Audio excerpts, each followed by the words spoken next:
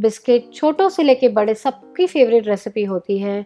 और आज मैं आपके साथ में गेहूँ के आटे में से बहुत ही खस्ता और करारे बिस्किट की रेसिपी लेके आई हूँ। दोस्तों, ये बिस्किट बहुत ही खस्ता और करारे तैयार हो जाते हैं और इसे बनाने की सामग्री लगभग हमारे घर पे मिल जाती है। तो चलिए, खस्ते, करारा और मुँह में घुल जाने वाले गेहूँ के आटे में से हेल्थी बिस्किट बनाना शुरू करते हैं। गेहूँ के बिस्किट बनाने के लिए पहले हम मिश्रण की तैयारी कर लेते हैं। मैंने एक बोल ले लिया है। उसके अंदर मैं आधा कप बटर डाल देती हूँ। जो 100 एम का मेजरिंग कप है, वो नाप से मैंने बटर लिया है। मैंने यहाँ पे सॉल्टेड बटर लिया है। अगर आप अनसॉल्टेड बटर यूज़ कर रहे हैं तो आप इसके अंदर आधा चम्मच नमक डाल दीजिएगा। देखिए दोस्तों, मैंने इस प्रकार से थोड़ा सा भर के लिया है। इसे मैं बोल में डाल देती हूँ।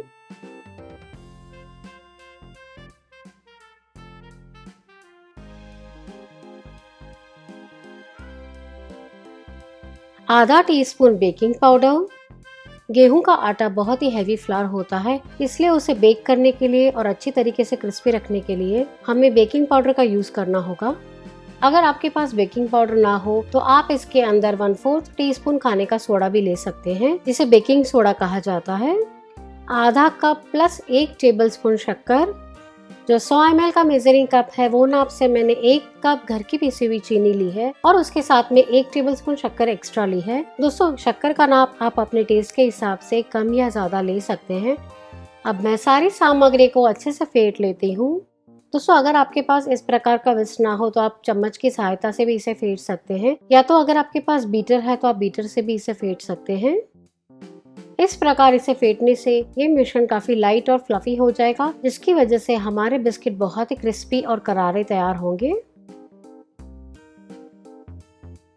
हमारी सारी सामग्री अच्छे से फिट चुकी है। अब मैं इसमें बाकी के इंग्रेडिएंट्स ऐड कर देती हूँ।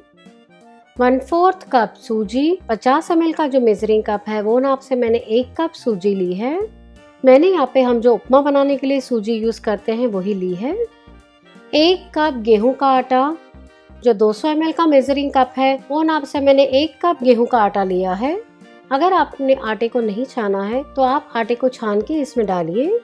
अब मैं सारी सामग्री को अच्छे से मिक्स करके आटा गूंद लेती हूँ। दोस्तों, जैसे मैंने आपको सिखाया है, अगर आपने बिल्कुल वही स्टेप फॉलो करके इसे बनाया तो आपके बिस्किट भी बहुत ही खस्ता और करारे तैयार होंगे। और हमने इसमें गेहूँ का आटे का उपयोग किया है। अगर बच्चों ने इसे थोड़ा ज़्यादा भी खा लिया तो कोई भी चिंता की बात नहीं होगी। ये बिस्किट बहुत ही खस्ता और मुँह में घुल जाने वाले तैयार होते हैं। आटा अच्छे से मिक्स हो चुका है। दोस्तों, मैंने एक कटोरी के अंदर दूध ले लिया है। उसमें से मैं एक टेबल स्पून दूध पहले ऐड कर देती हूँ और इसका आटा गूंद लेंगे। हमें इसमें धीरे धीरे करके दूध ऐड करना है। पर अभी मैं केवल एक ही टेबल स्पून डाल रही हूँ। इससे आटा बहुत ही अच्छे से तैयार हो चुका है। अगर हमें आगे ज़रूरत लगी तो आगे और भी दूध ऐड करेंगे।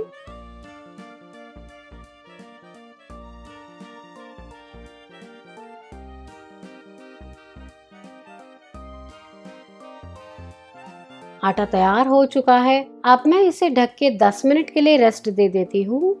10 मिनट हो चुके हैं और हम आटे को चेक कर लेते हैं। और दोस्तों, पहले हम हमारा बेकिंग की तैयारी कर लेते हैं। मैंने एक पैन ले लिया है और उसके अंदर मैंने एक स्टैंड रख दिया है। मैं ये बिस्किट को गैस के ऊपर बनाने वाली हूँ। मैं ये पैन को धीमी आँच के ऊपर 10 से 12 मिनट के लिए प्रीहीट करने के लिए रख देती हूँ। पैन जब तक गर्म हो रहा है, तब तक हम हमारे बिस्किट तैयार कर लेते हैं। 10 मिनट हो चुके हैं, आटे को चेक कर लेते हैं। ये देखिए दोस्तों, ये आटा थोड़ा मुझे ड्राई लग रहा है, ये पूरा बिखरा हुआ आटा लग रहा है तो मैं इसके अंदर एक चम्मच दूध डाल देती हूँ और इसे अच्छे से मसल लेंगे। दोस्तों, हमने इसमें सूजी का उपयोग किया था, इसके लिए मिश्रण थोड़ा ड्राई हो गया है, आपको ज़रूरत हो उतना आप इसमें दूध ऐड करके इसका आटा तैयार कर सकते हैं।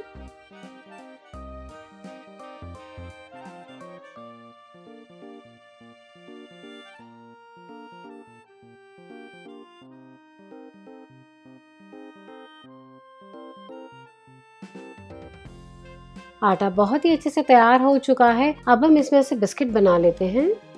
बिस्किट बेलने के लिए जो चकला होता है वो ले लेती हूँ और एक प्लेट ले लेती हूँ। और अब ये आटे में से मैं दो हिस्से कर लेती हूँ। इसे अच्छे से मसल के बेल लेते हैं। थोड़ा सा मैं उसके ऊपर सूखा गेहूँ का आटा लगा देती हूँ। दोस्तों, हमें थोड़ा सा आटा लेके ही इसे बेलना है। बेलते समय अगर आटे में से थोड़ा सा ये साइड्स फटे तो उसको हाथों से दबा के हम बैलेंस कर लेंगे और फिर से इसका आटा गूंद लेंगे।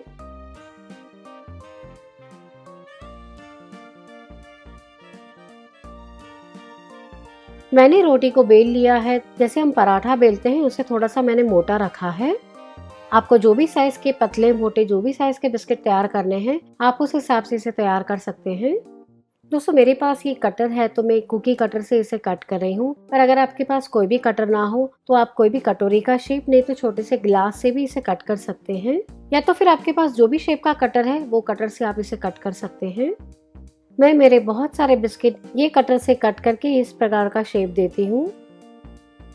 ये देखिए दोस्तों, मैंने ये साइज़ के बिस्किट तैयार कर लिए हैं। पहले हम सारे कटआउट्स तैयार कर लेंगे।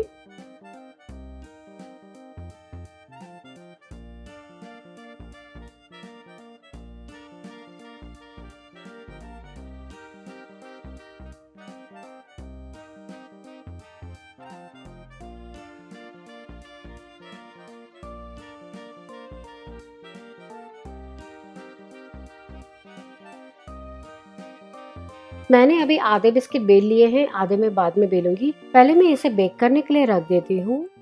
मैं ये बिस्किट को गैस के ऊपर बनाने वाली हूँ। दोस्तों, मेरे पास ये ट्रे है तो मैंने एक ट्रे ले ली है और उसके ऊपर मैं बटर पेपर रख देती हूँ। बटर पेपर के ऊपर मैं थोड़ा सा बटर लगा देती हूँ। जब भी आप गेहूँ के आटे में से बिस्किट बनाएँ, तभी हमेशा ट्रे को ग्रीस कीजिएगा। अदरवाइज़ मैदे से बनाएँगे तो आपको ग्रीस करने की कोई ज़रूरत नहीं पड़ेगी। अब मैं इसके ऊपर बिस्किट को अरेंज कर लेती हूँ।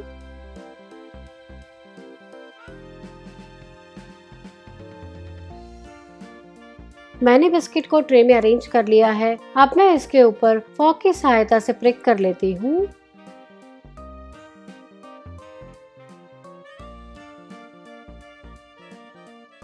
अब मैं इसे बेकिंग के लिए रख देती हूँ।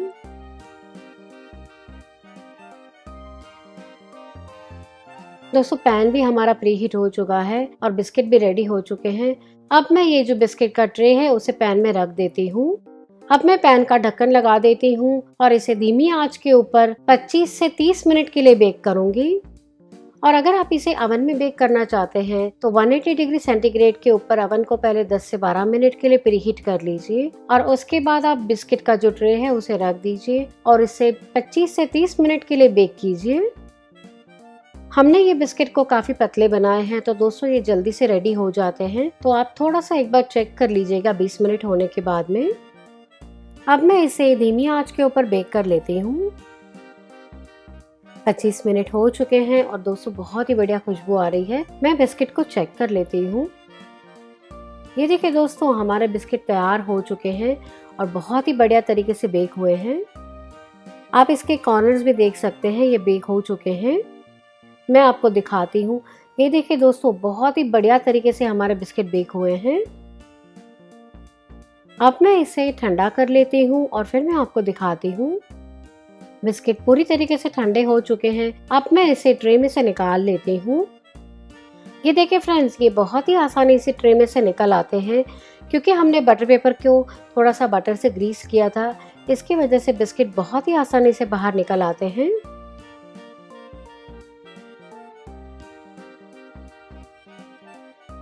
ये देखिए फ्रेंड्स ये बिस्किट के ऊपर जो क्रैक्स आई है, क्योंकि हमने इसमें सूजी ऐड की है, इसकी वजह से ये बिस्किट के अंदर क्रैक्स आते हैं। ये बहुत ही खस्ता और बढ़िया बिस्किट बने हैं। आप इसे बच्चों को टिफ़िन बॉक्स में लंच बॉक्स में, सवेरे ब्रेकफास्ट में, शाम को चाय के साथ में कभी भी खा सकते हैं, और हमने ये इसे बहुत ही हेल्दी बनाया है।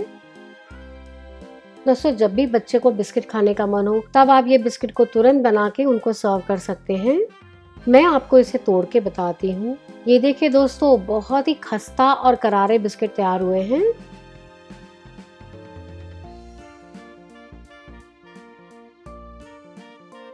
हमारे टेस्टी, यम्मी, डिलीशियस गेहूँ के आटे के बिस्किट बन के तैयार हैं। दोस्तों, ये बहुत ही खस्ता और करारे तैयार हुए हैं। आप इस रेसिपी को बनाइए और अपने अनुभव मेरे साथ ज़रूर शेयर करिए। और इसी प्रकार की यूनिक रेसिपीज़ देखने के लिए चैनल को सब्सक्राइब करना ना भूले।